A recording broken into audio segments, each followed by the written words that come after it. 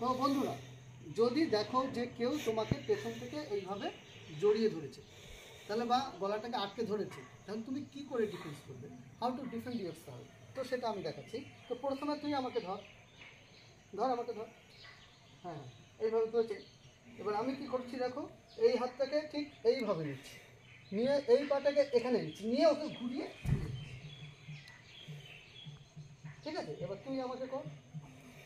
তোকে যদি কেউ এইভাবে ধরে, তাহলে তোকে আমি ধর, ওকে কী করছি, তুই এখানে দাঁড়া।